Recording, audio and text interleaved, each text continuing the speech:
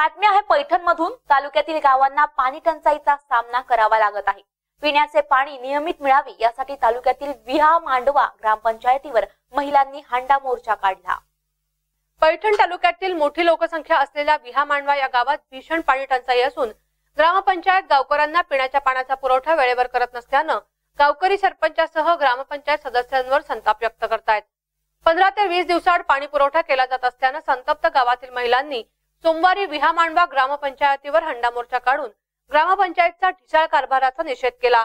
मोर्चातील आक्रमक महिलांनी ग्रामपंचायत पदाधिकाऱ्यांना कार्यालयात जाऊन धारेवर धरलं.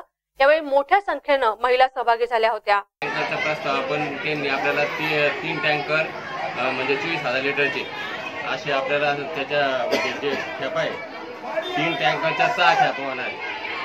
आणि त्यानंतर आपण जे हातपंपाचे दुरुस्ती आपले दोन तीन हातपंप बंद आहे तर ते वापरायला पाणी येऊ शकतं. जे का पिण्यायोग्य नाही पण ते वापरायसाठी आपण ते तीन टँकर जे आपले ते हातपंप आहे ते आज किंवा मग उद्या गा- ती गाडी येणार आहे. आज कासपूरला आहे उद्या आपल्याकडे येणार आहे.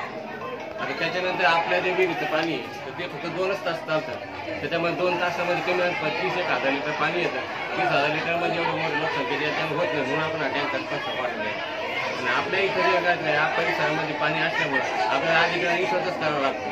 आपण तिकडून पैशांच्या पॉईंट म्हणून पाणी आपल्याला मिळू शकतो